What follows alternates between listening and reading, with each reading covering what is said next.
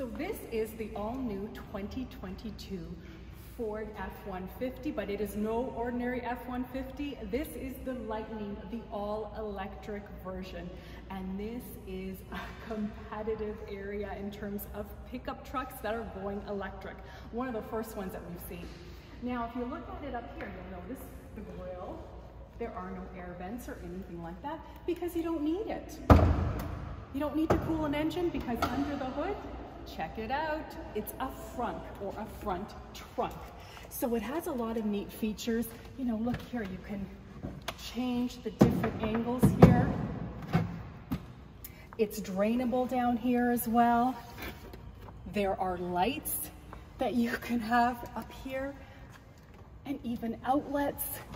So you can power not only power tools or laptops, but even a coffee maker if you want to. Now coming around the side, you see, you would just charge it here, plug it in. On the fast charger, it takes about 41 minutes to get to 80% charge. And when you come around the back here too, it's equally impressive.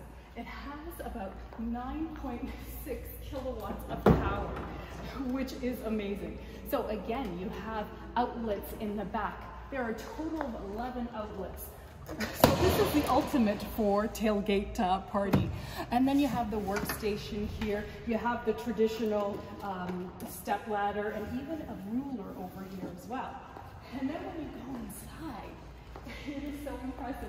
The seats can come down almost 180 degrees uh, if you have the front and uh, rear seats and you want a little nap.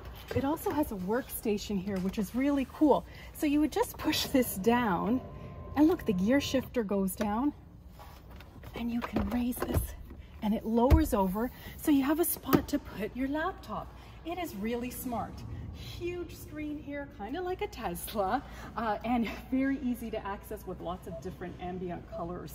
Really cool. Now with this vehicle, there are two different battery choices available. You can get a standard range that'll give you about 370 kilometers, or the long range. That's about 483 uh, kilometers. With that one, you can tow up to 10,000 pounds.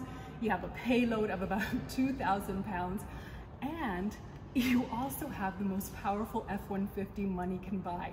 You can get it with 775 foot-pound of torque and over 550 horsepower. It's impressive. It'll go zero to 100 in about four and a half seconds. Not bad. Now, if you want one of these, already 100,000 have been pre-ordered, but this will go on sale starting around $58,000 for the base model. The one we have here is the top trim at $110,000, and we will see them in the spring of 2022. Thanks for watching the Ragazza. Please comment, like, and subscribe to my channel. Ciao, ciao.